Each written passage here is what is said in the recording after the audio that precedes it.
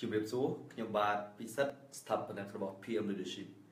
ហើយខ្ញុំគឺជាមនុស្សម្នាក់ដែលមានទូរនទីនៅក្នុងការជួយបងប្អូនអស់លោកស្រីឲ្យមានសេចក្តីសុខច្រើនជាងមុន បាទទាំងផ្លូវចិត្តបាទទាំងផ្លូវ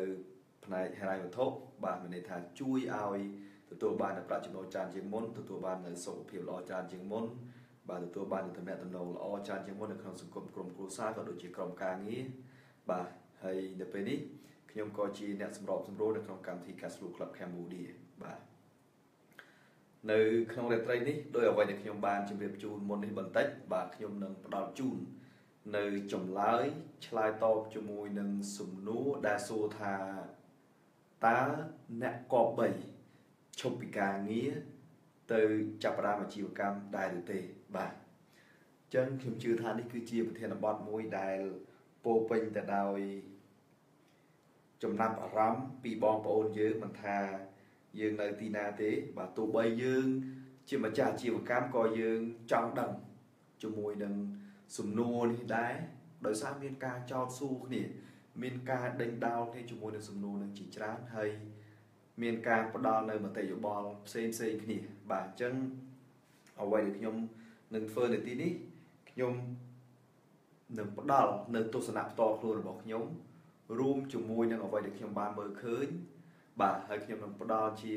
ទស្សនៈមួយដែលអាចចាត់ទុកជាការពិចារណាសម្រាប់អស់លោកស្រីបងប្អូនយើងពិសេសអ្នកដែលកំពុងតែមានការងារដើម្បីឲ្យបងប្អូនមានឱកាសនៅក្នុងការធ្វើការត្រិះរិះពិចារណាថាតើវាគួរទេដែលយើងចាំបាច់ត្រូវឈប់ពីការងាររួចហើយទៅប្រកបអាជីវកម្មខ្លួនឯងបាទអញ្ចឹងខ្ញុំជឿថានេះគឺជាធានបទមួយដែលអស់លោកស្រីបងប្អូនយើងក៏បី ធ្វើការបែងចែកឲ្យបានច្រើនច្រើនបាទដើម្បីឲ្យបងប្អូនយើងផ្សេងទៀតគាត់មានឱកាសនៅក្នុងការសិក្សារៀនសូត្របាទស្វែងយល់បាទពិចារណាដោយសារតែការសម្រេចចិត្តណាមួយនោះ វាអាចផ្ដល់នៅផលល្អហើយក៏អាចផ្ដល់នៅផលមិនល្អផងដែរបាទហើយនេះវាអាចជាជំងឺសង្គមមួយបើសិនជាយើងយល់មិនបានច្បាស់លាស់វាអាចធ្វើឲ្យ សង្គមមានបញ្ហាក្នុងករណីដែល យើងយល់នៅក្នុងន័យមួយមិនពេញលេញបាទដែលយើងហៅថាវាអត់ complete វាអត់ចំចំណុចបាទអញ្ចឹងនៅទីនេះខ្ញុំលើកទឹកចិត្តឲ្យបងប្អូនយើងមេត្តាជួយ click share បាទដើម្បីឲ្យវីដេអូនេះទៅដល់ដៃបងប្អូនយើងច្រើនច្រើនបាទដោយសារតែវាគឺជាចំណែកមួយនៅក្នុងការចូលរួមចំណែករបស់ខ្ញុំបាទនៅក្នុងការជួយផ្សព្វផ្សាយចំណេះដឹងបែងចែកនៅបទពិសោធន៍ ដើម្បីឲ្យបងប្អូនយើងមានឱកាសនៅក្នុងការធ្វើការឆ្លងបញ្ចាំងបាទអ្វីដែលសំខាន់គ្រូធំរបស់អស់លោកស្រីបងប្អូនយើងគឺជាខ្លួនប្រានគឺជាលោកអស់លោកលោកស្រីបងប្អូនគឺជាគ្រូផ្ទាល់ខ្លួនរបស់អស់លោកស្រីបងប្អូនយើងបាទខ្ញុំគឺជាគ្រូរបស់ខ្ញុំអញ្ចឹងខ្ញុំជឿថានៅពេលដែលខ្ញុំផ្ដល់ជូនទៅបងប្អូនយើងអាចយកនៅអ្វីដែលខ្ញុំផ្ដល់ជូនបាទធ្វើការត្រេះរិះពិចារណាបូករួមជាមួយនឹងអ្វីដែលអស់លោកស្រីបងប្អូនយើងសិក្សាពី អ្នកផ្សេងទៀតពិសេសសិក្សាពីអ្នកដែលគាត់មានបទពិសោធន៍នៅក្នុងអាជីវកម្មអ្នកដែលគាត់មានបទពិសោធន៍នៅក្នុងការរស់នៅបានយូរយូរឆ្នាំបាទអញ្ចឹងខ្ញុំមើលឃើញថាមានទស្សនៈជាច្រើនជុំវិញការចាប់ផ្ដើមអាជីវកម្មខ្ញុំជឿថាបងប្អូនយើងក៏ធ្លាប់ឮដែរដែលគេនិយាយថាអូមានអ្នកជោគជ័យជាច្រើនច្រើនឧទាហរណ៍ដូចជា Steve Jobs Bill Gates Mark Zuckerberg ហើយមានអ្នកផ្សេងផ្សេងទៀតគាត់រៀនអត់ចប់ថ្នាក់បាទ គាត់រៀនឆ្នាំទី1ឆ្នាំទី2រួចហើយគាត់ឈប់ដើម្បីទៅប្រកបអាជីវកម្មរបស់គាត់បាទអញ្ចឹងយើងសំណួរយើងអាចចោទសួរថាតើអ្នកដែលឈប់ពីសាលារៀនអ្នកដែលរៀនអត់ចប់ហើយតែចាប់ផ្ដើមអាជីវកម្មប្រមាណអ្នកដែលទទួលបានជោគជ័យហើយប្រមាណអ្នកដែលមិនទទួលបាននៅជោគជ័យប្រមាណអ្នកដែលបរាជ័យបាទមនុស្សទូទាំងសកលលោកបាទជិត10 billion ជិត10កោតបាទជិតជិតអឺ10000ជិត7 7000 8000 billion អឺនៅ7000លានអ្នកជាងនៅលើទូសកលលោករបស់យើងអញ្ចឹងយើងដឹងទៅថាតើមនុស្សប្រមាណអ្នកដែលគាត់ឈប់រៀនរួចហើយទៅចាប់ផ្ដើមអាជីវកម្មទទួលបានភាពជោគជ័យតែប្រមាណភាគរយបាទហើយអ្នកដែលឈប់រៀនរៀនអត់ចប់ចុងចប់ដើមហើយទៅប្រកបអាជីវកម្ម ហើយបរាជ័យមានប្រមាណភាគរយបាទជាទូទៅអ្នកដែលបរាជ័យយើងអត់ដឹងអ្នកដែលជោគជ័យពី3នាក់យើងដឹងឬហើយយើងនាំគ្នានិយាយតតគ្នាថាអូ Bill Gates រៀនអត់ចាប់គាត់ខ្លាចជា អ្នកមានលេខ1ទៅលើសកលលោកអូ Mark Zuckerberg គាត់រៀនអត់ចប់គាត់ចាប់ដើម Facebook អូ Steve Jobs រៀនទៅឆ្នាំទី1គាត់ចាប់ដើមអាជីវកម្មហើយជោគគាត់ជោគជ័យចឹងសំណួរខ្ញុំអាចចោទសួរទៅកាន់បងប្អូនយើងបើសិនជាអ្នកណាម្នាក់និយាយអញ្ចឹង សួរគាត់ថាតើមនុស្សប្រមាណអ្នកដែលគាត់ឈប់រៀនបាទគាត់ឈប់រៀនគាត់រៀនអត់ចប់ព្រោះហើយគាត់ចាប់ផ្ដើមអាជីវកម្មហើយគាត់បរាជ័យហើយប្រមាណអ្នកដែលជោគជ័យបាទតោះតែយើងធ្វើការប្រៀបធៀបគ្នារវាងចំនួនអ្នកដែលចាប់ផ្ដើមអាជីវកម្មដោយមិនបានសិក្សារៀនសូត្រនៅសាកលវិទ្យាល័យជាមួយនឹងអ្នកដែលចាប់ផ្ដើមអាជីវកម្មដែលនៅគាត់រៀនមិនចប់ដូចគ្នាតើមួយណា មានអត្រាភាគរយច្រើនជាងរវាងអ្នកបរាជ័យនិងអ្នកដែលជោគជ័យបាទចឹងដូចគ្នាដែរសំណួរនេះក៏ខ្ញុំលើកទឹកចិត្តឲ្យអស់លោកស្រីបងប្អូនយើងសួរបាទសួរយើងសួរខ្លួនឯងដោយសារខ្លួនយើងគឺជាគ្រូធំរបស់យើងបាទអញ្ចឹងមុនពេលខ្ញុំនិយាយបន្តទៀតក៏ឆ្លៀតឱកាសនេះដើម្បីថ្លែងអំណរគុណដល់បងប្អូនយើងដែលបានចូលរួមនៅក្នុងការសិក្សារៀនសូត្រជាមួយនឹងខ្ញុំទស្សនាជាមួយនឹងខ្ញុំបាទសុកមេឃលោកសុកមេឃបាទសុកមេឃ បាទសុកម៉ាបាទ Mr. Sim Richman បាទអឺពេងហួតបាទវុថាបាទសុកជាស៊ីវុធីបាទ GNA Eger បាទ wow ឈ្មោះ T Eger អូខេបាទ Boy សុភ័ក្របាទ ចឹងអរគុណច្រើនសម្រាប់ការចូលរួមទស្សនានៅពេលរាត្រីនេះហើយសូមកុំភ្លេចបាទជួយ share ផងបើបាន share រួចហើយសូមជួយផ្ដល់សញ្ញាបេះដូងឲ្យខ្ញុំផងបាទអញ្ចឹងខ្ញុំនឹងធ្វើការបង្ហាញជូននៅអ្វីដែលខ្ញុំយល់ដឹងអ្វីដែលខ្ញុំមានបទពិសោធន៍ពាក់ព័ន្ធជាមួយនឹងជីវិតនៃការរស់នៅជីវិតនៅក្នុងការប្រកបអាជីវកម្មក៏ដូចជាការធ្វើការងារ ហើយខ្ញុំជឿថាការបែងចែករបស់ខ្ញុំជាទុនមួយសម្រាប់អស់លោកស្រីបងប្អូនយើងធ្វើការត្រិះរិះពិចារណាសំណួររបស់យើងនៅថ្ងៃនេះគឺតកតងជាមួយនឹងតើយើងគប្បីបាទឈប់ពីការងារមានន័យថាយើងដូរដូរវត្តត្រន់របស់យើងដូរវត្តត្រន់របស់យើងពីផ្នែក E មកផ្នែក B business បាទ តើយើងគប្បីផ្លាស់ប្ដូរខ្លួនយើងពី E មក B ដែរឬទេបាទមុននឹងឆ្លើយសំណួរបាទមុននឹងឆ្លើយសំណួរនេះខ្ញុំអាចចោទសួរទៅកាន់បងប្អូនយើងថាដើម្បីយើងចាប់ផ្ដើមអាជីវកម្មតើយើងត្រូវការអីខ្លះបាទបាទអរលោកស្រីបងប្អូនយើងអាចឆ្លើយនៅខាងក្រោមដើម្បីយើងចាប់ផ្ដើមអាជីវកម្មតើយើងត្រូវការអីខ្លះគឺចម្បងចម្បងបាទអរ លោកស្រីអាចអាចឆ្លើយនៅខាងក្រោមបានដើម្បីយើងចាប់ផ្ដើមអាជីវកម្មប្រកបដោយភាពជោគជ័យតើយើងត្រូវការអីខ្លះបាទមុនពេលយើងឆ្លើយថាអូខ្ញុំឈប់ពីការងារទៅចាប់ផ្ដើមអាជីវកម្មជារឿងដ៏ល្អដោយសារខ្ញុំចង់ខ្លាយទៅជាអីគេ be your own boss បាទអឺធ្វើអ្វីក៏ត្រូវដែរប៉ុន្តែអ្វីដែលសំខាន់តើត្រូវនៅក្នុងន័យមួយដែលយើងទទួលបានផលច្រើនឬក៏ផលតិចហើយលទ្ធផលមាន2លទ្ធផល pain និងលទ្ធផល រីករាយបាទ pain និង pleasure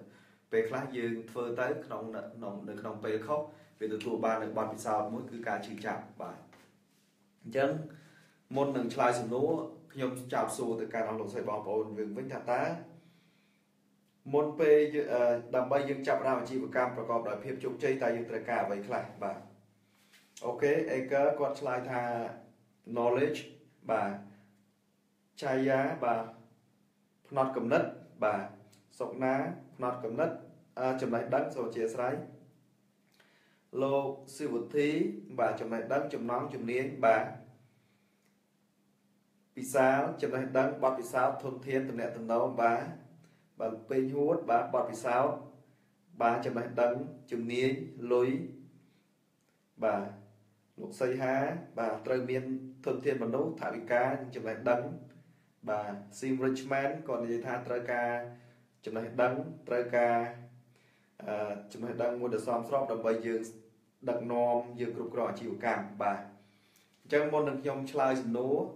ខ្ញុំជឿថាអ្វីដែលលោកស្រីបងប្អូនយើងបានឆ្លើយមកនេះគឺជារឿងដែលត្រឹមត្រូវហើយបាទអញ្ចឹងខ្ញុំជឿថាខ្ញុំអាចបញ្ចប់កម្មវិធី live របស់អញ្ចឹងទី1សំខាន់បាទទីទី1សំខាន់ដែលបងប្អូនយើងបាន experience បាទបាទគឺ experience ហេតុអីបានជា experience សំខាន់ឧទាហរណ៍ដូចជាអ្នក facilitator នៅក្នុងកម្មវិធី Cash Flow Club Cambodia ហើយខ្ញុំគឺជាគ្រូបង្វឹក រាល់ចៃដន្យថ្ងៃមួយបាទបងប្អូនយើងជិះយន្តហោះបាននៅលើយន្តហោះរួចហើយស្រាប់តែអ្នកប្រកាសនៅលើយន្តហោះគាត់ប្រកាសថាលេខ x y y អីទៅបន្តមកទៀតបាទថ្ងៃនេះយើងនឹងធ្វើដំណើរបាទពីភ្នំពេញទៅសៀមរាបហើយយើងនឹងរីករាយជាមួយគ្នាដោយសារថ្ងៃនេះគឺជាថ្ងៃដែលពិសេសយើងមានអ្នកបើកបរយន្តហោះ ដ៏ពូកែបាទបាទគាត់គឺជាអ្នកបង្វឹកគាត់គឺជាគ្រូបង្វឹកដ៏ពូកែគាត់បង្វឹកតកតទៅជាមួយនឹងការចាប់ផ្ដើមអាជីវកម្មគាត់បង្វឹកតកតទៅជាមួយនឹងទំនាក់ទំនងក្រុមគ្រួសារគាត់បង្វឹកតកតទៅជាមួយវិធីសាស្ត្រនៅក្នុងការរកប្រាក់ចំណូលគាត់បង្វឹកនៅក្នុងការវិធីសាស្ត្រដើម្បីឲ្យក្រុមការងារធ្វើការងារប្រកបដោយភេរភាពនិងមានផលិតភាពការងារខ្ពស់បាទហើយគាត់ជួយអ្នកដែលនៅក្នុងស្រុកក្រៅស្រុក បាទរួមទាំងជនជាតិខ្មែរជនជាតិបរទេសបាទរួមទាំងអ្នកដែលគាត់ជាថៃគូនៅក្នុងវិស័យ real estate នៅក្រៅស្រុកបាទអញ្ចឹងគាត់គឺជាអ្នកដែលមានប្រជាប្រិយភាពនៅក្នុងស្រុកខ្មែរហើយរួមទាំងក្រៅស្រុកហើយថ្ងៃនេះយើងមានកិត្តិយសដោយសារគាត់ទំនេរពីការងាររបស់គាត់គាត់បានស្ម័គ្រចិត្តមកបើកបរយន្តហោះឲ្យយើងពីភ្នំពេញទៅសៀមរាបឈ្មោះគាត់គឺលោកខំពិសិដ្ឋបាទអញ្ចឹងសំណួរសួរថាតើបងប្អូនប្រមាណអ្នកដែល បន្តជិះយន្តហោះនឹងហើយបើជិះហើយបងប្អូនប្រមាណអ្នកដែលជិះយន្តហោះហើយមានអារម្មណ៍ថាសបាយរីករាយមានទំនុកចិត្តបាទមកសំណួរអញ្ចឹងហេតុអីបានជាបទពិសោធន៍សំខាន់ចោលលោកស្រីបងប្អូនយើងអាចអាចគិតមើលបើសិនជានៅក្នុងស្ថានភាពបែបហ្នឹងតើបងប្អូនប្រហែលអ្នកដែលនឹងអឺលោតចេញពីយន្តហោះបាទ ចឹងអ្វីដែលខ្ញុំនិយាយនេះគឺសារៈសំខាន់បំផុតគឺយើងត្រូវការបទពិសោធន៍បាទចឹងបានឃើញមិត្តភ័ក្តិរបស់ខ្ញុំគាត់សរសេរនៅលើ Facebook គាត់និយាយថាបើសិនជាយើងមានបទពិសោធន៍ត្រឹមបាទ3ឆ្នាំហើយយើងទៅចាប់ផ្ដើមអាជីវកម្មបាទលទ្ធភាពនៅក្នុងការ bank grab ប្រហែលជា99%អានោះអ្វីដែលគាត់សរសេរនៅលើ Facebook ហើយខ្ញុំអាចឯកភាពបាទខ្ញុំអាចឯកភាពវាអាស្រ័យទៅលើអ្នកនឹងដែរបាទវាវាវាអាស្រ័យទៅលើឯកអាស្រ័យទៅលើលក្ខខណ្ឌរបស់គាត់បើសិនជាគាត់អត់មានបទពិសោធន៍គាត់មានបទពិសោធន៍ត្រឹម3ឆ្នាំហើយគាត់មិនមានក្រុមការងារច្បាស់លាស់វាអាចដែរវាអាច99%គាត់អាចបរាជ័យប៉ុន្តែអ្នកខ្លះក៏គាត់មានសំណាងល្អដែរអញ្ចឹងអ្វីដែលមិត្តភក្តិខ្ញុំនិយាយខ្ញុំ គិតថាវាជារឿងមួយដែលត្រឹមត្រូវខ្លះហើយក៏វាអាស្រ័យទៅលើសំណាងរបស់អ្នកចាប់ដើមដែរប៉ុន្តែការធ្វើអាជីវកម្មកុំពឹងផ្អែកលើការអឺចង់និយាយថាយើងកុំពឹងផ្អែកទៅលើភ័ព្វសំណាងច្រើនពេកបាទទី1បងប្អូនយើងបានបាននិយាយហើយគឺយើងត្រូវការនៅបទពិសោធន៍បាទបទពិសោធន៍សំខាន់ណាស់បាទពេលខ្លះទោះបី mindset របស់យើងអត់ទាន់ត្រឹមត្រូវ100%ប៉ុន្តែនៅពេលដែលយើងមានបទពិសោធន៍ក៏ យើងទៅកដាប់ទៅកដាប់ទៅក្នុងនាមជា sales employee ដែរបាទអញ្ចឹងបទពិសោធន៍សំខាន់ហើយបន្តមកទៀតអ្វីដែលបងប្អូនយើងបានសរសេរនៅទីនេះបាទគឺ mindset បាទ mindset ឬក៏ psychology បាទពោគឺតកតងជាមួយនឹងផ្នែកចិត្តសាស្ត្របាទអញ្ចឹងចិត្តសាស្ត្រសំខាន់សំខាន់មែនទែនដោយសារតែអ្វីអ្វីទាំងអស់ មនុស្សខ្លាំងឬក៏ខ្សោយអាស្រ័យទៅលើការគិតបើយើងចាប់ផ្ដើមអាជីវកម្មបាទអឺខួរក្បាលរបស់យើងនៅនេះបាទហើយខ្លួនប្រាណរបស់យើងនៅនេះដោយសារតែយើងចាប់ផ្ដើមអាជីវកម្ម What happens តើមានអីកើតឡើងដោយសារតែចិត្តកំណត់របស់យើងនៅនេះ របៀបរបបនៅក្នុងការគ្រប់គ្រង business របស់យើងយើងនៅនេះមានន័យថាម៉េចឧទាហរណ៍ដូចជានៅពេលដែលយើងធ្វើការក្នុងនាមជា employee យើងមាន manager យើងមាន supervisor ការងារជិតដល់ deadline មានអ្នកដាស់តឿនយើងមានអ្នក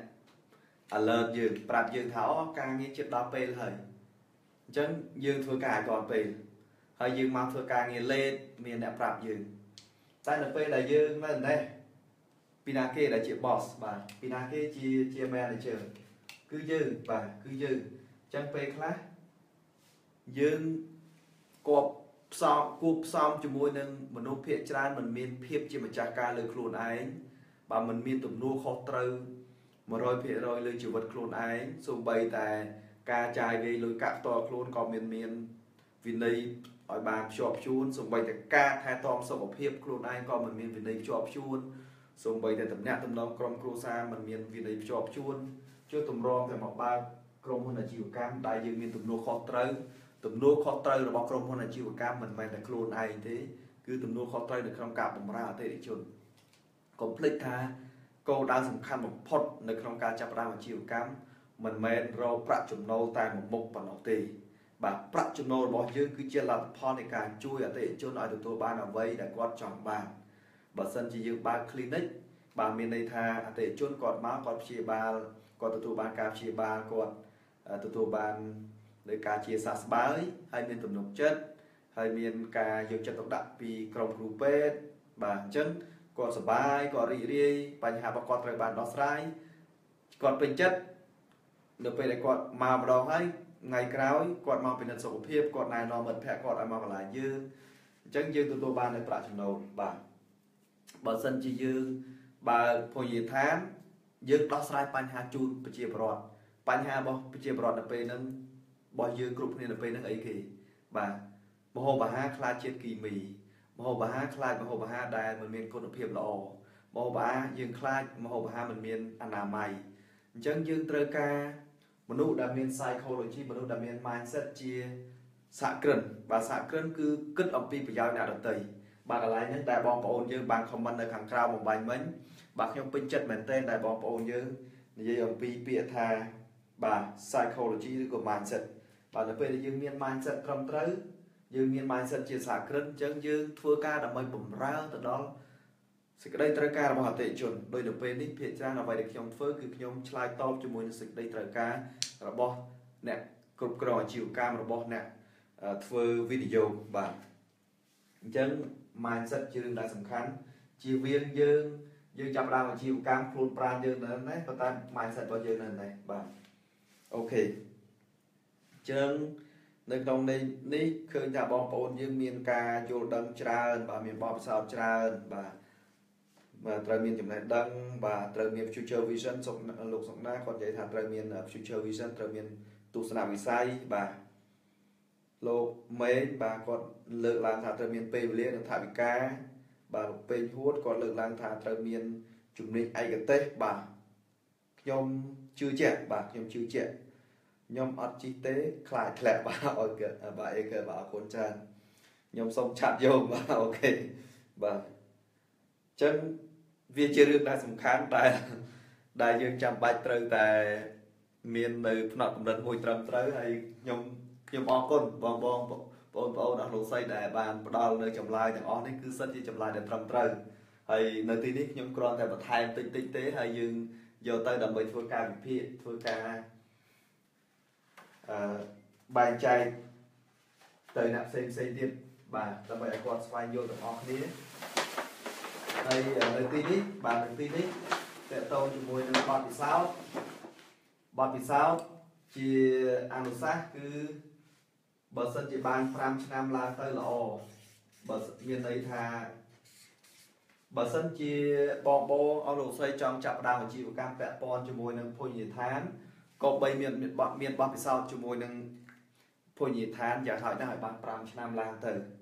បាទ5ឆ្នាំឡើងទៅវាជាពេលវេលាមួយដែលសមស្រប5ឆ្នាំហ្នឹង5ឆ្នាំកុំច្រឡំថាយើងធ្វើការតដៃនៅទៀបទៀបហើយយើងរំពឹងថាយើងទៅបើកបានខ្ញុំគិតថា ក៏មិនសមស្របដែរ5ឆ្នាំហ្នឹងយើងក៏បីនៅតំណែងខ្ពស់ខ្ពស់ចឹង5ឆ្នាំឡើងទៅវាអាចដល់ចាប់10ឆ្នាំវិញចឹងទៅបាទសម្រាប់ខ្ញុំខ្ញុំធ្វើការប្រហែលជាជិត10ឆ្នាំនៅក្នុងអឺតំណែងជាទីប្រឹក្សាផ្នែកគ្រប់គ្រង ទីប្រឹក្សាផ្នែកគ្រប់គ្រងប្រាក់មូលនិធិបាទអ្នកគ្រប់គ្រងគម្រោងបាទអ្នកគ្រប់គ្រងអង្គភាពបាទទីប្រឹក្សាផ្នែកអភិវឌ្ឍសមត្ថភាព ស្ថាប័នពិសេសតកតងជាមួយនឹងការពង្រឹងសមត្ថភាពទៅដល់ថ្នាក់គ្រប់គ្រងថ្នាក់ដឹកនាំរបស់អង្គភាពបាទខ្ញុំជួយរៀបចំស្ថាប័នផ្នែក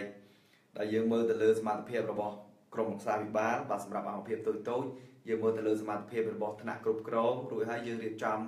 យើងរៀបចំនៅផែនការអភិវឌ្ឍសមត្ថភាពរបស់គាត់តាមរយៈការឲ្យមាននៅ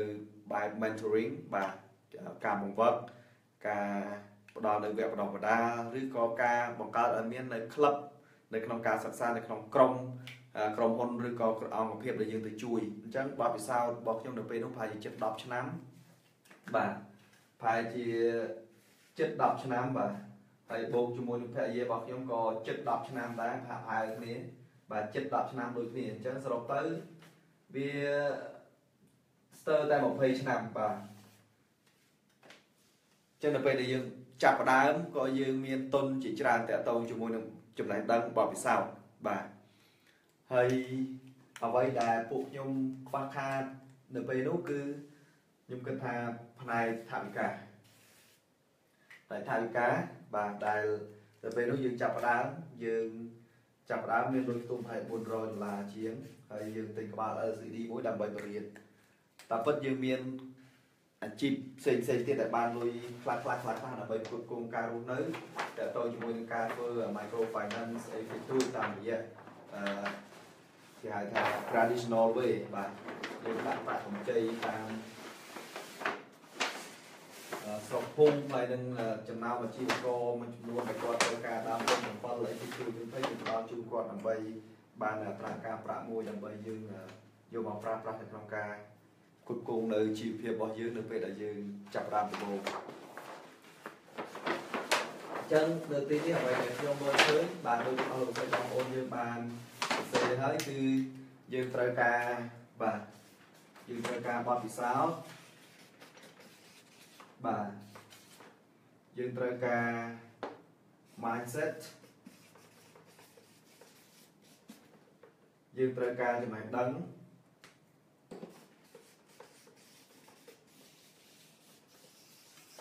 បាទហើយយើងត្រូវការអីទៀតបាទចំណេះដឹងវារួមបូកជាមួយនឹង skill បាទហើយចំណុចសំខាន់សម្រាប់ខ្ញុំគឺបាទសំខាន់បំផុតសម្រាប់ខ្ញុំគឺ network បាទសម្រាប់ខ្ញុំគឺ network ដោយលោក Robert Kiyosaki គាត់និយាយថា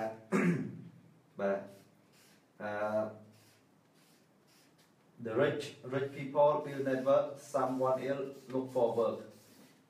ចឹង network នៅពេលហ្នឹងមានន័យថាម៉េចបាទសម្រាប់ខ្ញុំនៅពេលដែលខ្ញុំធ្វើការចាប់ផ្ដើម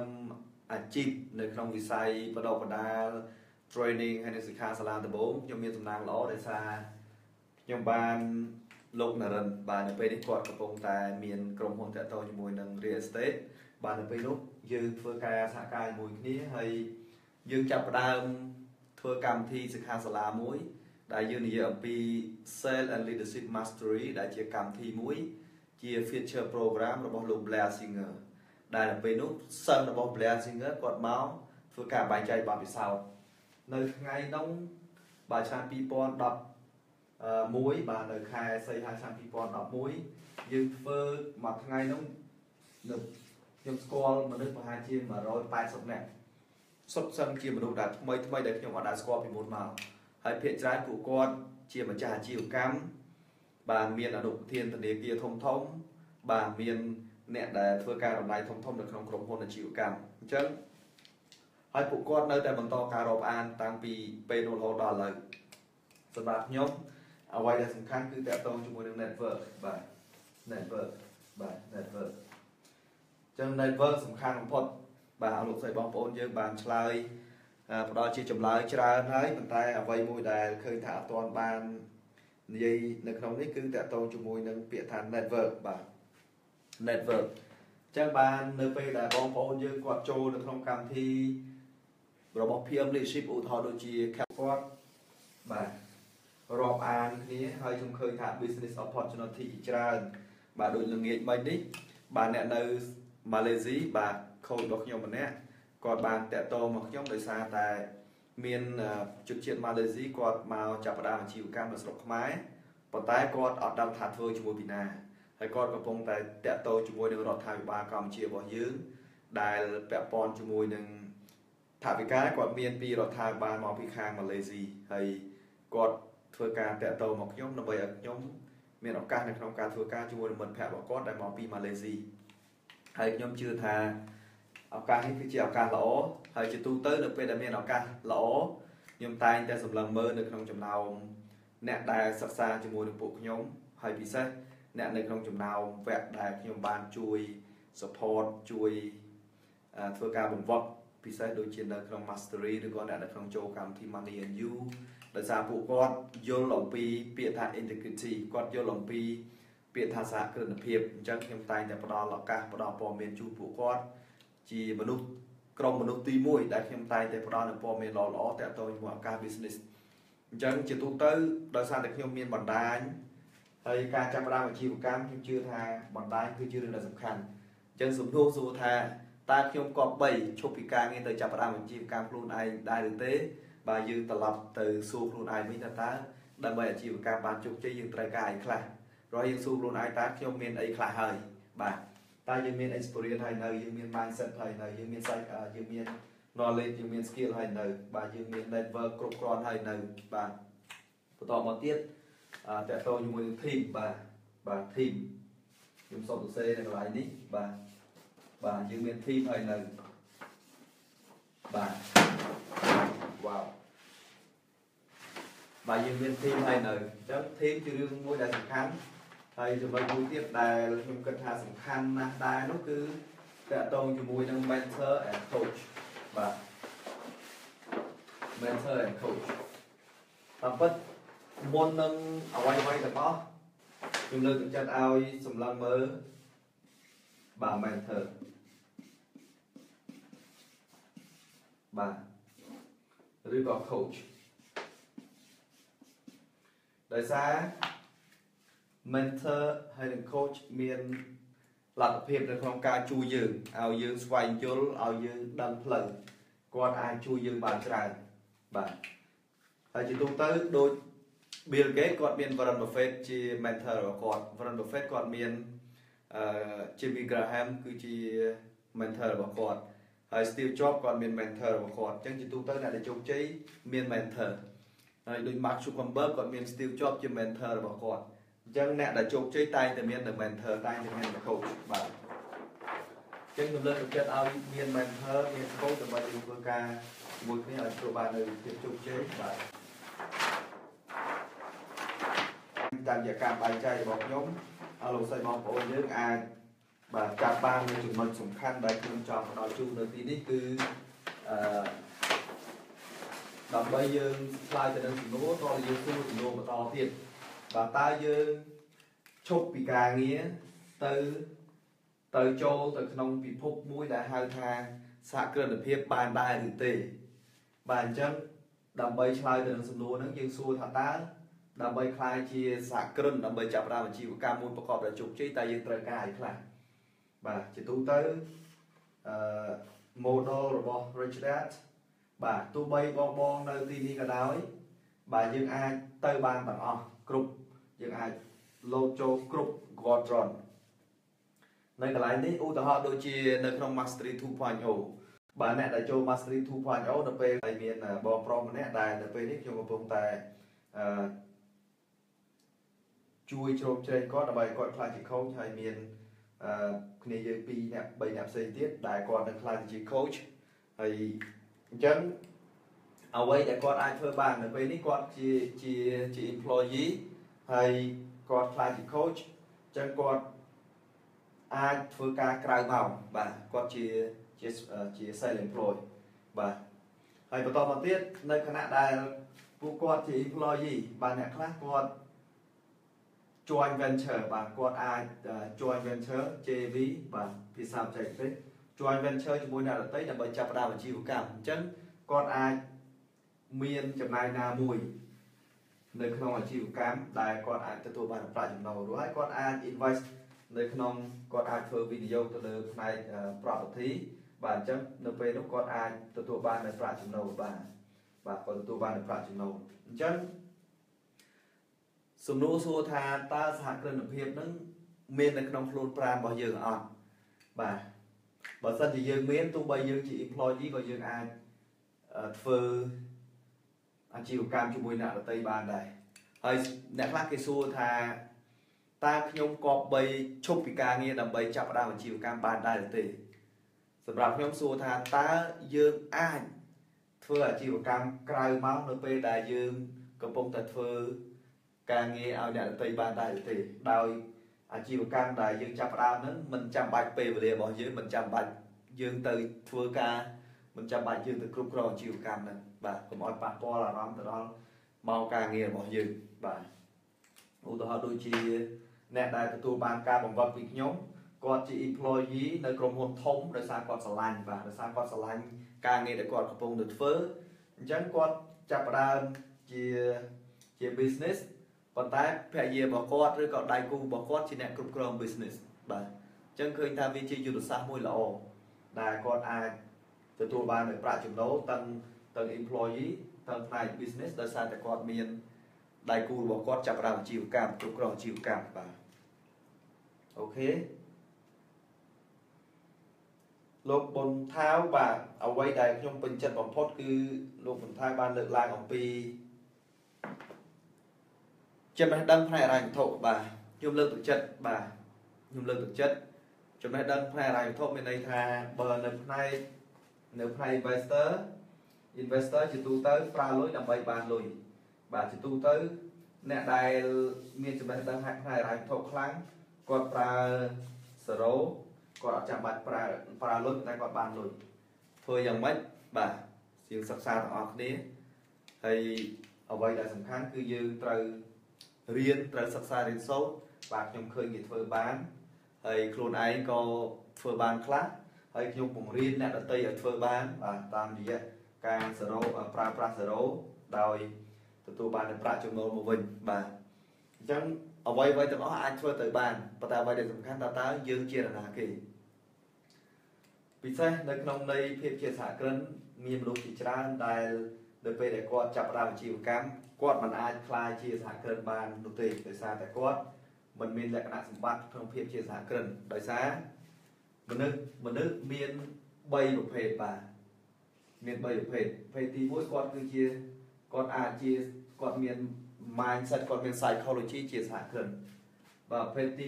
2បាទគាត់មាន mindset គាត់មាន psychology ជា manager ជា management manager ហើយប្រភេទទី3គាត់មាន psychology មាន mindset ជា technician ជាគេហៅថាជាអ្នកចែកទេសអញ្ចឹង មិនប្រកាសថាមនុស្សគ្រប់រូបអាចគ្រប់គ្រងអាជីវកម្មប្រកបដោយភាពជោគជ័យនោះទេដោយនៅក្នុង Midas Touch របស់លោក Donald Trump និងលោក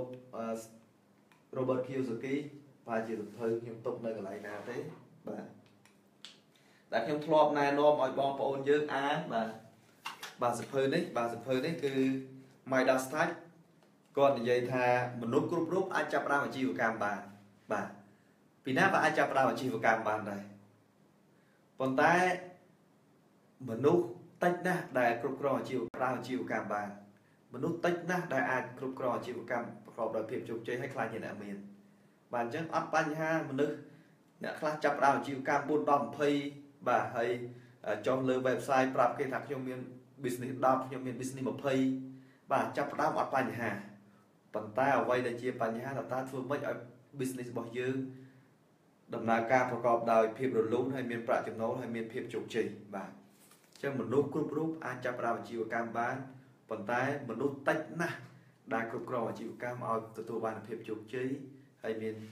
ស្ថានភាពមួយធ្វើឲ្យម្ចាស់អាជីវកម្មទទួលនៅភាពជាអ្នកមានបាទអញ្ចឹងពេលខ្លះមនុស្សខ្លះគាត់មានជាមានផ្នែកមិនជាសហគ្រិនបើក៏អត់ធ្វើការទទួលបានជោគជ័យដែរ ហើយអ្នកដែលគាត់ជា technician មកថាអ្នកបកកែឆុងកាហ្វេហើយគាត់ទៅបើកហាងកាហ្វេក៏គាត់មិនប្រកាសថាទទួលបានភាពជោគជ័យដែរគាត់ត្រូវចេះ system គាត់ត្រូវចេះគ្រប់គ្រងគាត់ត្រូវចេះផ្នែក HR គាត់ត្រូវចេះផ្នែក IT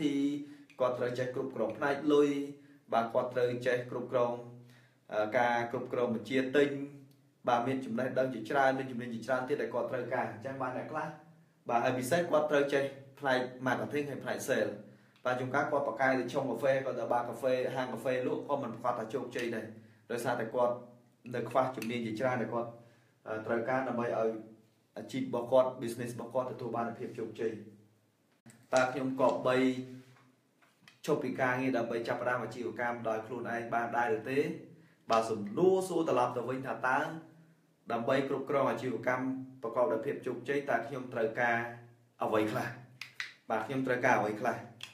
ហើយអ្នកដែលចាប់ផ្ដើមអាជីវកម្មដ៏ប្រកបដោយភាពជោគជ័យហើយគាត់ធ្វើអ្វីខ្លះបាទគាត់ធ្វើអ្វីខ្លះសូម្បីតែចាប់មកដែលគាត់ចាប់ផ្ដើមអាជីវកម្មរបស់គាត់ទម្រាំទៅជោគជ័យដោយសារតែបាទអញ្ចឹងមិនមែនជារឿងងាយស្រួលទេហើយគាត់ក៏ប្រើប្រាស់ដើមទុនជាច្រើនដែរតាមរយៈការ inject លុយចូលរបស់ investor មិត្តភ័ក្តិរហូតដល់មាន bank មានអីផ្ដល់លុយឲ្យគាត់ ដំបូងគាត់រកអត់សូវបានបន្ទាប់មកគាត់រកបានប៉ុន្តែចង់និយាយថារកលុយបានមិនមែនលក់បានទេសុំលុយគេលក្ខណៈជា fundraising បាទ raise capital បាទគាត់ raise បានមកអញ្ចឹងរយៈពេល10ឆ្នាំជិត20ឆ្នាំបាទជិត20ឆ្នាំមកគាត់ចាប់ផ្ដើមរីចម្រើនអញ្ចឹងសម្រាប់ចាប់មកគាត់មានបទពិសោធន៍នៅក្នុង business របស់គាត់ហើយគាត់យើងសួរខ្លួនយើងថាតើមនុស្សប្រហែលអ្នកដែលបើក business ហើយមានលទ្ធភាព ធ្វើ business ដែលមិនមានប្រាក់ចំណូលរហូតដល់10ឆ្នាំជាងបាទ10ឆ្នាំជាងជិត20ឆ្នាំគាត់នៅតែតស៊ូហើយគាត់មានប្រាក់ចំណូលពីប្រភពផ្សេងផ្សេងតាមរយៈគេហៅថា raise capital បាទការការ raise ដើមទុនដើម្បីយកមក operate នៅក្នុងក្រុមហ៊ុនតើយើងប្រមាណអ្នកដែលមានលទ្ធភាពនៅក្នុងការចាប់ផ្ដើមអាជីវកម្មអត់រកចំណូលបានមួយរៀលនៅក្នុងកំឡុងពេលប្រហែលជា10ឆ្នាំហើយ យើងទទួលបាននៅ fund ពីអ្នកដទៃដើម្បីឲ្យ business របស់យើងនៅតែរ៉ាន់ទៅមុខប្រហែលអ្នកបាទហើយ Alibaba នៅពេលនោះក៏មានការសហការពីខាង Yahoo បាទអញ្ចឹងមនុស្សម្នាក់ដែលមានឱកាសនៅក្នុងការចាប់ផ្ដើមអាជីវកម្មដំបូងរហូតមានឱកាសនៅក្នុងការសហការជាមួយនឹង Yahoo បាទអញ្ចឹងពេលខ្លះនៅពេលដែលយើងមើលឃើញថាអូ Steve Jobs ឈប់ពីការងារ Steve Jobs ឈប់រៀនរហូតគាត់ចាប់ផ្ដើមអាជីវកម្មជោគជ័យបាទ Henry Ford គាត់រៀនបានតិចហើយគាត់ជោគជ័យបាទ Mark Zuckerberg ក៏រៀនអត់ចប់គាត់បានជោគជ័យព្រោះហើយយើងសួរវិញថាតើមនុស្សប្រមាណអ្នកដែលរៀនអត់ចប់មនុស្សប្រមាណអ្នកដែលឈប់ពីការងាររួចហើយចាប់ផ្ដើមអាជីវកម្មហើយបរាជ័យដែលយើងអត់ដឹងបាទប្រមាណអ្នកហើយអ្នកខ្លះលោដល់ចងកសម្រាប់ខ្លួនដោយសារតែគាត់មានការខាត់បងច្រើនដែលយើងអត់ដឹងប្រមាណអ្នកបាទអញ្ចឹងមុននឹងឆ្លើយទៅនឹងសំណួរហ្នឹងខ្ញុំលើកទឹកចិត្តឲ្យសួរសំណួរ ជាច្រើនទៅកាន់ខ្លួនឯងជាច្រើនទៅកាន់បងប្អូនយើង ដែលគាត់ចង់ឈប់ពីការងារដើម្បីទៅចាប់ផ្ដើមជីវកម្មការសម្រេចចិត្តណាមួយដ៏ធំធេងពិសេសសម្រាប់ខ្ញុំអ្នកដែលចូល Cash Flow Club Cambodia យើងតែងតែផ្ដល់នៅបំរាម បាទបំរាមរបស់យើងគឺបន្ទាប់ពីចេញពីកម្មវិធី Cash Flow Club ទៅបន្ទាប់ពីចេញកម្មពីកម្មវិធីរបស់ PM Leadership បាទសូមកុំធ្វើសេចក្តីសម្រេចចិត្តផ្ដេសផ្ដាស់ដោយមិនមានការពិគ្រោះយោបល់ជាមួយនឹងអ្នកជំនាញ បើសិនជាទិញ real estate ឬក៏វិនិយោគទៅលើផ្នែកអចលនទ្រព្យបាទសូមកុំភ្លេចទៅពិគ្រោះយោបល់ជាមួយនឹងអ្នកជំនាញផ្នែកតាក់អ្នកជំនាញផ្នែកច្បាប់អ្នកជំនាញផ្នែក real estate អ្នកជំនាញផ្នែក banking បាទហើយពិសេសកុំពិគ្រោះតែជាមួយនឹង broker បាទ broker គាត់ចង់បាន commission បាទហើយអ្នកដែលជួយយើងដើម្បីយក loan គាត់ចង់បាន commission អញ្ចឹងយើងត្រូវទៅពិគ្រោះយោបល់ជាមួយមនុស្សដែលត្រឹមត្រូវបាទអញ្ចឹងនៅក្នុង cash flow club ក៏ដូចជា ខ្ញុំក្នុងនាមជា coach នៅពេលដែលខ្ញុំជួយមនុស្សខ្ញុំតែងតែបង្ហាញនូវភាពស្មោះត្រង់ហើយនេះគឺជាក្រមសីលធម៌ក្នុងនាមជាអ្នកដឹកនាំអ្នកគ្រប់គ្រងអាជីវកម្មតាក់ទងជាមួយនឹង coaching and consulting ហើយនឹងនៅក្នុងវិស័យបដិបដាតលតែអ្នកនឹងដល់កម្រិតមួយខ្ពស់ខ្ពស់ដូច Tony Robbins, Jack Canfield ដូចអីហើយបានគេនិយាយនៅអ្វីដែលខ្ញុំនិយាយដូច Richard អញ្ចឹងគឺ អ្វីមួយដែលគេផ្ដល់ជូនគេមានគេហៅថា warning គេបំរាមបំរាមយើងរៀនជាមួយគេហើយមិនប្រកាសថាខ្លាចជាអ្នកមានទី1រៀនជាមួយគេហើយកុំយកមកធ្វើអីប្រេះផ្ដាស់ទី2បាទនៅពេលដែលធ្វើអីមួយត្រូវតែពិគ្រោះយោបល់ឧទាហរណ៍ដូចជានៅក្នុងបណ្ដាញរបស់ពួកខ្ញុំមានអ្នកដែលចេះផ្នែកតាក់មានអ្នកចេះផ្នែកច្បាប់បាទមានអ្នកចេះផ្នែកធនាគារបាទមានអ្នកចេះផ្នែក ប្រព័ន្ធគ្រប់គ្រងហិរញ្ញវត្ថុក្រុមហ៊ុន បាទមានអ្នកចេះគ្រប់គ្រង system របស់ក្រុមហ៊ុនបាទនិយាយចំទៅយើងមានមនុស្សជាច្រើន ដែលមានចំណេះដឹងផ្សេងផ្សេងគ្នាមានចំណេះផ្សេងផ្សេងគ្នាដើម្បីជួយគ្នាទៅវិញទៅមកយើងមិនអាចអូខ្ញុំ exciting ខ្ញុំចូលកម្មវិធីសិក្ខាសាលាមួយដែលគេនិយាយថា ESDI បាទដើម្បីខ្លាចជាអ្នកមានតើតើយើងនៅក្នុង B បាទអញ្ចឹងខ្ញុំដាច់ខាត់ខ្ញុំត្រូវតែឈប់ពីការខ្ញុំចូល ខ្លួនទៅជា B បាទពួកអី B អីគេ B ជា business owner បាទទៅពេលគាត់ឈប់បាទ3ខែក្រោយមកអខ្ញុំកំពុងតែមានអារម្មណ៍ថាខ្ញុំខ្វះអីមួយយ៉ាងហើយខ្ញុំផ្ដាំអាជីវកម្មខ្ញុំដូចខាតរហូតហើយខ្ញុំមានអារម្មណ៍ពីការងាររួចហើយមកមកចាប់ផ្ដើមអាជីវកម្មខ្ញុំឥឡូវដូចខកខ្លួនហើយមើលទៅបាទអញ្ចឹងកំពុងតែរកការងារធ្វើបាទ no បាទ ចូលមកក្នុងកម្មវិធី Cash Flow Club Cambodia ចូលមកទទួលបានការបង្វឹកពីបង្វឹកធំធំគ្រូបដិបរាថ្នាក់អន្តរជាតិថ្នាក់សាកលលោកគាត់តែងបំរាមយើងបាទបន្ទាប់ពីរៀនពីពួកគាត់ទី1ដោយអ្នកដែលរៀនជាមួយខ្ញុំអ្នកខ្លះគាត់រកបាន50000ដុល្លារក្នុងមួយខែអ្នកខ្លះ close deal បានលានដុល្លារអ្នកខ្លះចាប់ដើមអាជីវកម្មដោយមិនចាំបាច់បាទប្រើដើមទុនខ្លួនឯងគាត់ leverage ជាមួយអ្នកដទៃដូចប្អូនមួយនៅកពតគាត់ ចាប់ដើមសន្តាគារដែលមិនចាំបាច់ដើមទុនខ្លួនឯងបាទទាំងអស់នោះគឺជាលក្ខខណ្ឌពិសេសរបស់បុគ្គលមួយមួយអញ្ចឹងនៅពេលដែលមករៀនជាមួយខ្ញុំមិនប្រកាសថាបានលទ្ធផលដោយពួកគាត់ទេអាស្រ័យទៅលើការខិតខំប្រឹងប្រែងរបស់មនុស្សម្នាក់ម្នាក់ហើយខ្ញុំតែងតែដាក់បំរាមបាទអ្វីដែលរៀនពីពួកខ្ញុំឧទាហរណ៍ដូចជាខ្ញុំបង្ហាញ ESDI មិនមែនមានន័យថាអូខ្ញុំចូល cash flow club បាន2ដងខ្ញុំអាចមានលទ្ធភាពឈប់ពីការងារចាប់ដើមអាជីវកម្មបានហើយ no way បាទអញ្ចឹងយើងត្រូវការសិក្សារៀនសូត្រឲ្យបានច្រើនយើងត្រូវធ្វើការឆ្លុះបញ្ចាំងនៅក្នុងជីវិតរបស់យើងឲ្យបានច្រើនហើយពិសេសយើងត្រូវរាប់អានអ្នកដែលមានចំណេះដឹងខ្ពស់ខ្ពស់ឲ្យបានច្រើនហើយមុនពេលយើងធ្វើអីយើងត្រូវពិគ្រោះយោបល់ជាមួយនឹងអ្នកជំនាញបាទបើសិនទៅទៅពិសេសចំណុចមួយដែលខ្ញុំមើលឃើញអ្នកដែលចាប់ផ្ដើមអាជីវកម្មខ្ញុំខ្ញុំបំរាមបាទបំរាមដោយបំណងល្អពីខ្ញុំបាទចាប់ផ្ដើមទេ បើសិនគាត់ដឹងថាយើងយកលុយមកដើម្បីចាប់ផ្ដើមអាជីវកម្មថ្មីបាទប៉ុន្តែភាគច្រើនដោយសារ bank គាត់ចង់បាន performance ល្អ micro finance គាត់ចង់បាន performance ល្អពេលខ្លះយើងយកផ្ទះយើងទៅដាក់ប្រចាំគេឲ្យមក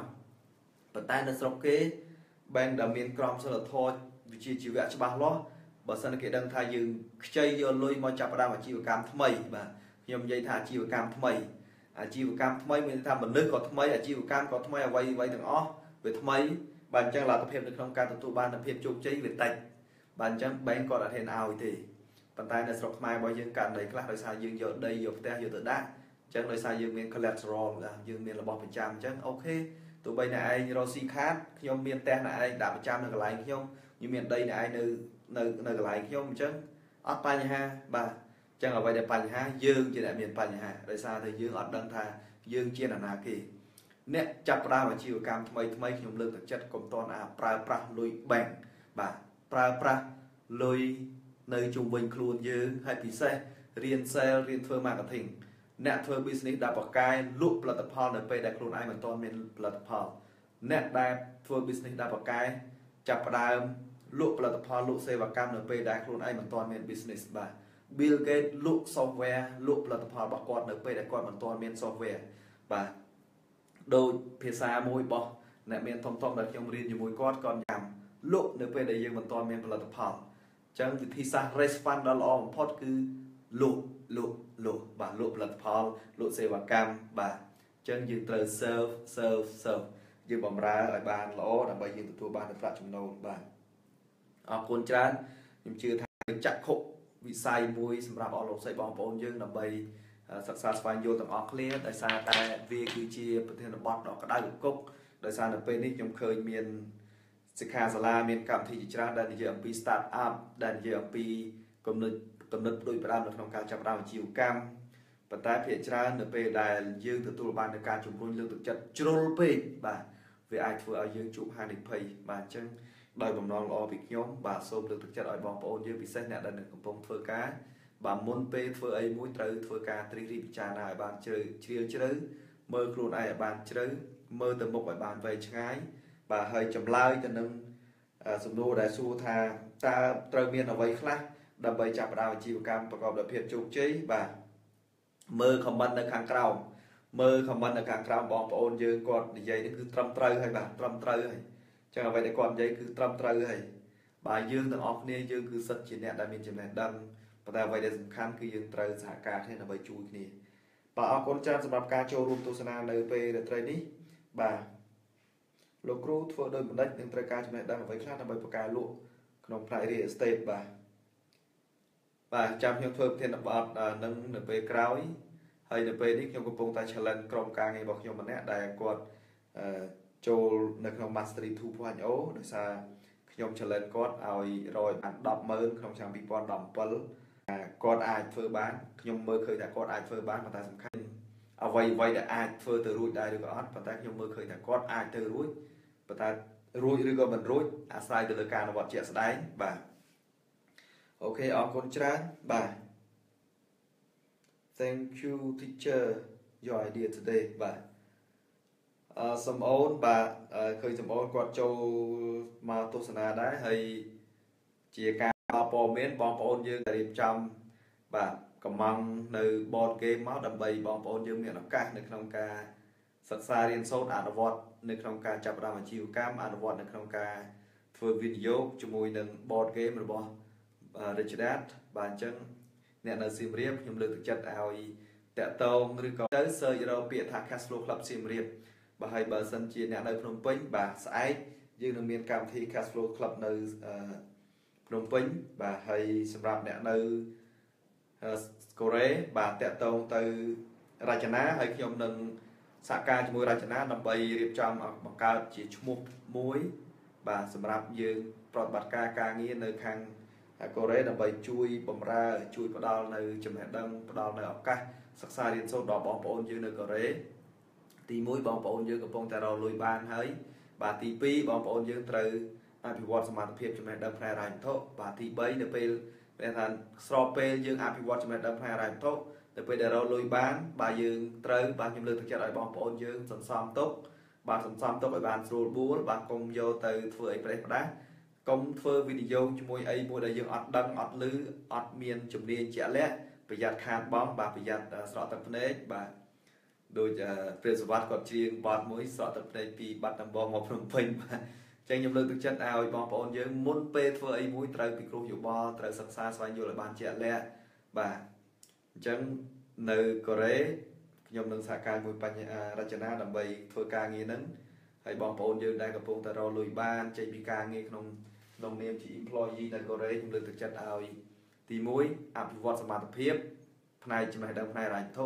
ទី2គ្រប់គ្រងលុយឲ្យបានស្រួលបាទទី3នៅពេលដែលយើងមានសមត្ថភាពហើយយើង បាទយើងសិក្សាអំពី business យើងសិក្សាអំពី investment បាទហើយបន្តមកទៀតយើងអាចចាប់ផ្ដើមអីមួយបានបាទប៉ុន្តែកុំកុំហក់លោតបាទកុំហក់លោតអីប្រេះប្រាស់ធ្វើអ្វីអ្វីក៏ដោយគឺយើងកុំហក់លោតខ្លាំងពេកបាទកុំហក់លោតខ្លាំងពេកមានពេលលោតចាំលោតបាទបើអត់ទាន់ដល់ពេលលោតទេកុំលោតទៅលើកិច្ចការអីដែលយើងមិនច្បាស់បាទឧទាហរណ៍ដូចជាគម្រោងវិនិយោគមួយចំនួនដែលយើងអត់ដឹងថាតើគេធ្វើម៉េចបានបានលុយ ឬក៏គេនិយាយបែបបច្ចេកទេសស៊ីជម្រៅឧទាហរណ៍ដូចជាសម័យមុនបាទសម័យមុនប្រជាពលរដ្ឋនៅតាមជនបទអ្នកចេះដឹងមុំមុំពីសាកលវិទ្យាល័យឆ្នាំទី1ឆ្នាំទី2ទៅដល់គាត់និយាយអំពីជាតិគីមីប៉ូតាស្យូមអឺជាតិអឺជាតិអ៊ុយរ៉េជាតិអីនោះអូគាត់ជឿដោយសារគាត់ចាត់ទុកថាយើងគឺជាអ្នកចេះតែដល់ពេលអ្នកចេះនឹងយូរយូរទៅផ្ដាល់វាអត់សូវត្រូវបាទអញ្ចឹងគាត់វ៉ាដូចមិនសូវស្រួលទេអាអ្នកខ្លះនិយាយចំណេះដឹងបែបស៊ីជម្រៅភាសាបច្ចេកទេសអញ្ចឹងយកមកប្រើកើតទេបាទអញ្ចឹងដល់ពេលបច្ចុប្បន្នអ្វីដែលគេពួកឯអ្នកដែលមានបញ្ញាញាណច្រើនច្រើនគេអាចលូកក្នុងហប៉ៅយើងយកលុយយើងបានអញ្ចឹងតាមរយៈការប្រើប្រាស់ភាសាមួយដែលយើងស្ដាប់ទៅអូសមហេតុសមផលប៉ុន្តែអត់ដឹងថាយ៉ាងម៉េចទេបាទសមហេតុសមផលហ្នឹងខ្ញុំអត់ដឹងថាយ៉ាងម៉េចទេអញ្ចឹងខ្ញុំ ផ្ដល់ជាការអឺជាការរំលឹកទៅដល់បងប្អូនយើងទី1អ្នកដែលកំពុងតែធ្វើការបាទត្រូវចេះសន្សំលុយបាទព្រោះអីការការចាប់ដើមអាជីវកម្មត្រូវការដើមទុនបាទអញ្ចឹងយើងត្រូវចេះសន្សំលុយបាទបន្តមកទៀតអភិវឌ្ឍសមត្ថភាពចំណេះដឹងផ្នែកហិរញ្ញវត្ថុចំណេះដឹងផ្នែក business ចំណេះដឹងផ្នែកលក់ចំណេះដឹងផ្នែក sale បាទមកចូល Cash Flow Club Cambodia នៅក្នុង Cash Flow Club Cambodia យើងរៀនតទៅនឹងការចាប់ដើមអាជីវកម្មរៀនចរចារៀនគ្រប់គ្រងហិរញ្ញវត្ថុបាទរៀននៅក្នុងការលក់រៀននៅក្នុងការធ្វើ marketing រៀននៅក្នុងការធ្វើវិនិយោគបាទហើយពិសេសយើង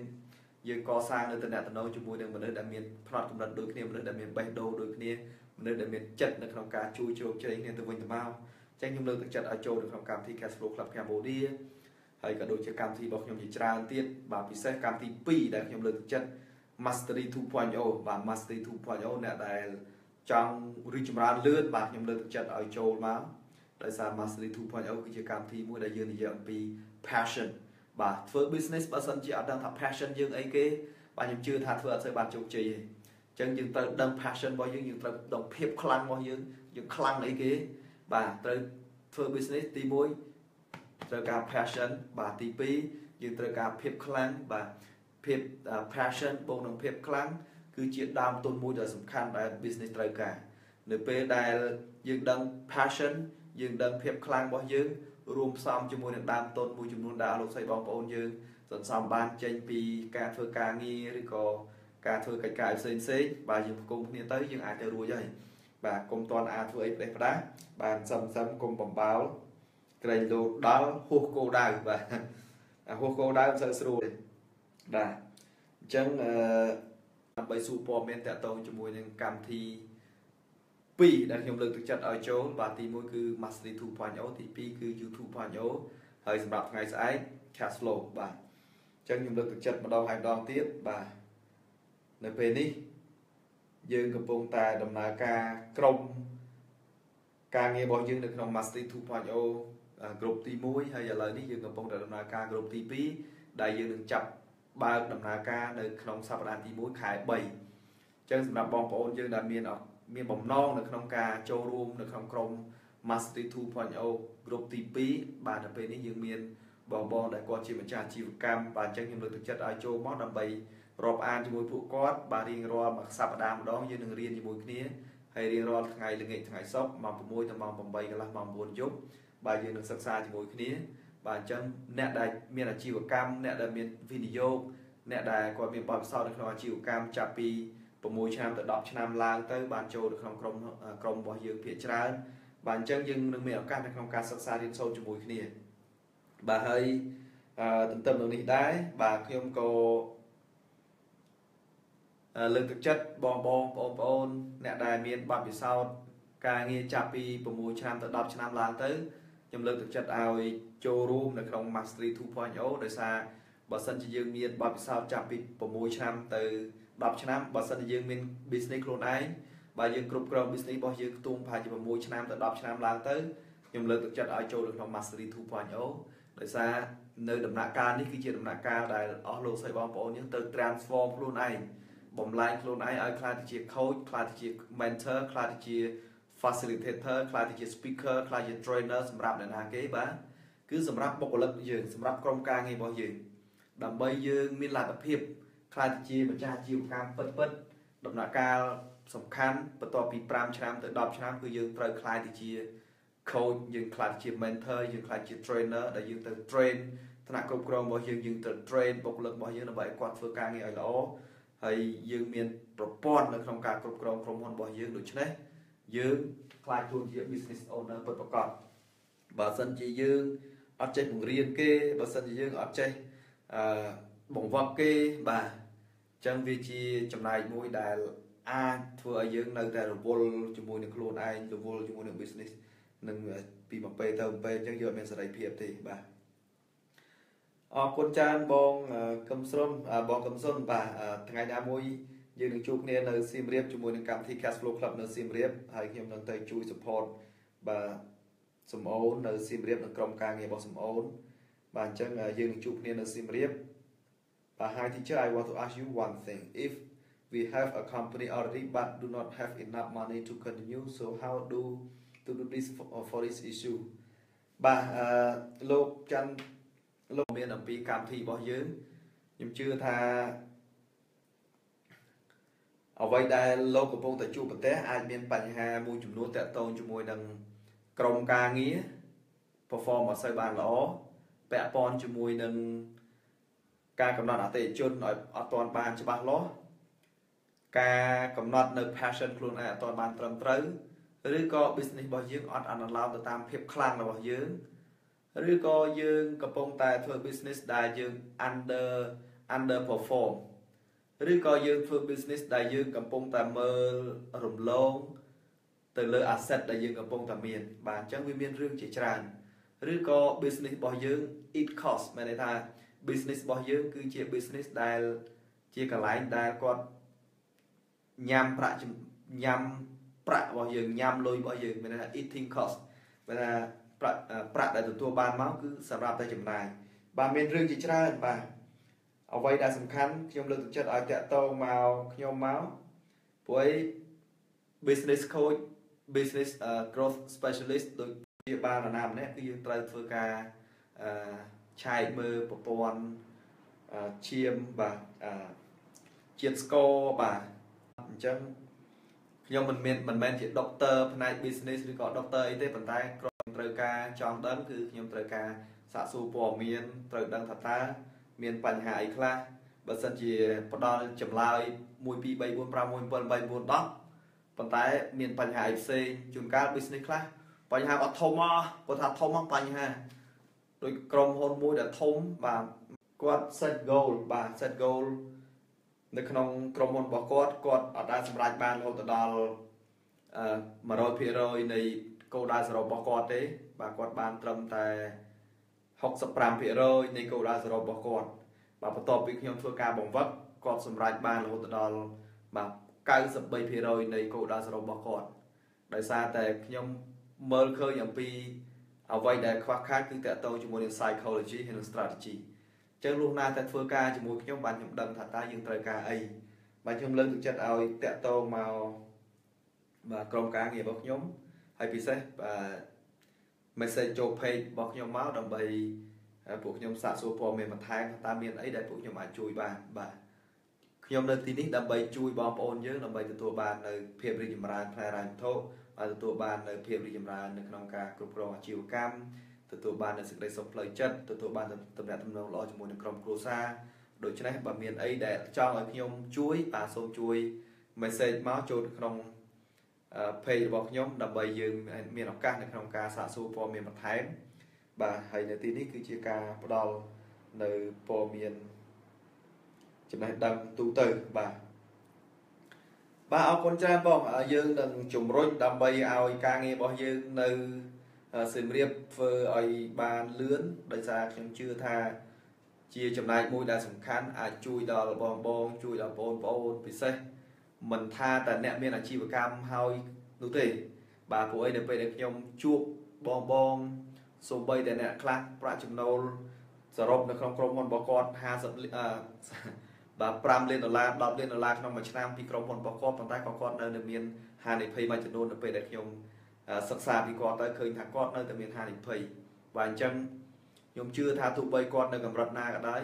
នៅពេលដែលពួកខ្ញុំទៅហើយខ្ញុំនឹង រៀបចំក្រុមការងារឲ្យបាន strong ឲ្យបានរឹងមាំនៅក្នុងការជួយក្រុមហ៊ុនអាជីវកម្មជួយអ្នកធ្វើវិនិយោគដោយសារតែទោះបីខ្ញុំមិនទាន់ដល់កម្រិតខ្ពស់នៅក្នុងវិស័យអាចរណទ្របនៅក្នុងការគ្រប់គ្រងអាជីវកម្មមានចំណូលរាប់លានដុល្លារប៉ុន្តែអ្វីដែលខ្ញុំកំពុងតែធ្វើខ្ញុំអាចជួយពួកគាត់បានបាទខ្ញុំជួយអ្នកដែលធ្វើវិនិយោគនៅក្នុងវិស័យអចលនទ្រព្យខ្ញុំជួយអ្នកដែលធ្វើ business ដែលមានប្រាក់ចំណូល ខ្ទង់លាននៅក្នុងមួយឆ្នាំមួយឆ្នាំបានអញ្ចឹងដោយសារយើងយើងរៀនយើងសិក្សាយកមកអនុវត្តជាក់ស្ដែងខ្លួនឯងផងហើយយើងរៀនយើងសិក្សាទៅជួយ business អ្នកដតីផងបាទអញ្ចឹងដល់ពេលនេះសម្រាប់អស់លោកស្រីបងប្អូនយើងដែលត្រូវការការជួយជោគជ័យពីខ្ញុំសូមជួយ message ចូលមក page របស់ខ្ញុំដើម្បីយើងតាក់ទងទៅវិញបាទអរគុណច្រើនព្រោះថាយើងជួបគ្នានៅថ្ងៃស្អែកនៅកម្មវិធី Cashflow Club Cambodia ហើយថ្ងៃស្អែកមិនត្រឹមតែជួបគ្នាពេលព្រឹកទេខ្ញុំនឹងផ្ដល់ bonus session មួយពីម៉ោង2រសៀលទៅម៉ោង5ល្ងាចបាទដោយសារខ្ញុំនឹងផ្ដល់នៅ transformation process បាទដោយគាត់ថាបានចូលនៅក្នុងកម្មវិធី YouTube.0 បានដឹងហើយគឺមកពេលទៅមកពេលយើងតែងតែមាននៅបទពិសោធន៍ breakthrough transformation អញ្ចឹងអ្នកដែលចូល cash flow club នៅថ្ងៃស្អែកបាទយើងនឹងមានឱកាស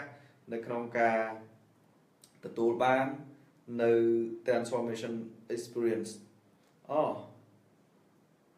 the first time to hear you thanks for your idea បាទខាំស្រីពៅអូយើងបងប្អូនគ្នា បាទយើងតកោដូចគ្នាបាទ